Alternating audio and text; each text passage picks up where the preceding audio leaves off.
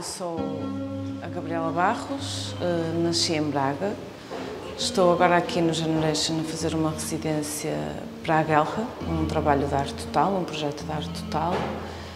Eh, danço desde muito pequenina e esta questão da dança contemporânea e da investigação em arte foi uma coisa que sempre me, me puxou, eh, portanto aceitei, claro, este convite para vir aqui fazer esta residência.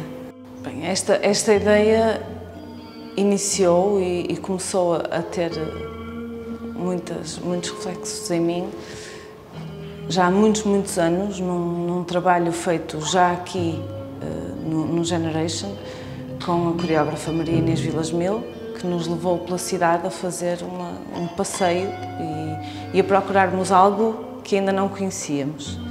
E foi aí que eu descobri uma portinha junto da Igreja da Sé e que comecei a questionar o que é que era, o que era aquela porta, de onde é que ela vinha, porque é que ela estava ali e explicaram-me que aquilo era também uma igreja.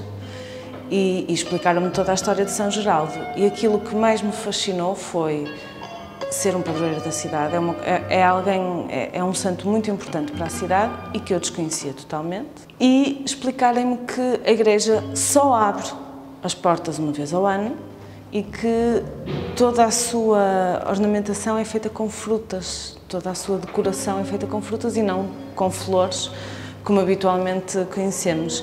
E daí começou esta minha busca por, por, por este tema.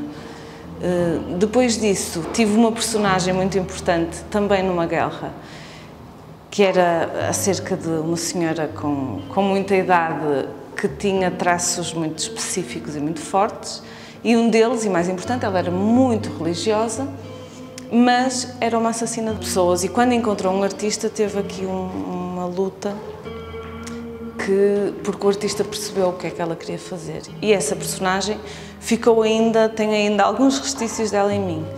E, e depois disto surgiu este, esta pesquisa, isto que chamamos Res Núlios, que, que fala acerca dessa personagem a viver nesta igreja de São Geraldo, como é que ela faz toda a sua rotina na igreja de São Geraldo.